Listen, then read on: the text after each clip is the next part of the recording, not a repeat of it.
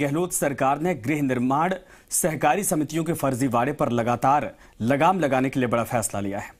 जिन गृह निर्माण, सहकारी समितियों द्वारा ऑडिट के लिए रिकॉर्ड उपलब्ध नहीं करवाया जा रहा है, ऐसी समितियों के खिलाफ एफआईआर दर्ज करवाई जाएगी और इस्तगाशा दायर करके कार्रवाई की जाएगी।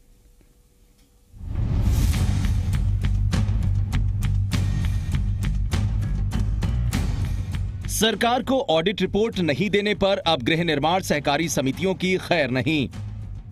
राज्य में जितनी भी गृह निर्माण सहकारी समितियाँ हैं, जो अवसायन में हैं, उनके दो महीने में पंजीयन निरस्त करने की कार्रवाई की जाएगी।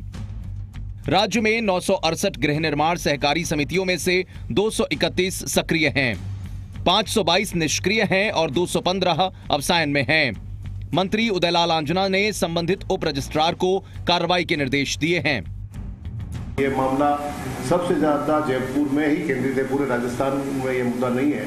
लेकिन यहाँ बहुत ज़्यादा प्रॉपर्टी में उछाल आया। उस समय गृह निर्माण सहकारी समितियाँ बनी और फर्जी भी बनी, गलत तरीके से भी बनी। लेकिन पूर्व की सरकारों ने इस तरफ़ पूरा ध्यान नहीं दिया। ऑडिट करने के और जो नियम थे, उन नियमों को ताक में रख दिया गया। इस कारण से बेचारे जो प्लाट खरीदने वाले लोग हैं, उनके साथ अन्याय हुआ है। जयपुर में 160 गृह निर्माण सहकारी समितियाँ हैं, जिनमें से 2019-20 तक तिरानवे सक्रिय समितियों में से मात्र दो गृह निर्माण सहकारी समितियों की ऑडिट हुई हैं। इसलिए विभाग बाकी सभी समितियों के खिलाफ कार्रवाई करेगा। समय पर ऑडिट नहीं करने वाले निरीक्षकों के खिलाफ भी कार्रवाई होगी। हम पाबंद कर रहे हैं ऐसी सोसाइटी को ब्लैक लिस्ट करके आउट कर रहे हैं अवसायन में ला करके उसके ऊपर लिक्विडेटर लगा कर नियंत्रण में करने का प्रयास कर रहे हैं।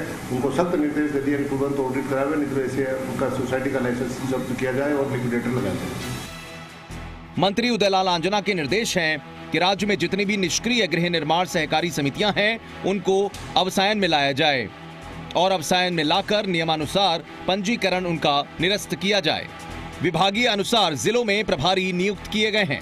उन प्रभारियों का दायित्व है कि ज़िले में इस प्रकार से चल रही गृह निर्माण सहकारी समितियों की रिपोर्ट तैयार कर पंजीयन निरस्त की कार्रवाई की जाए। आशीष चौहान, जी मीडिया, जयपुर।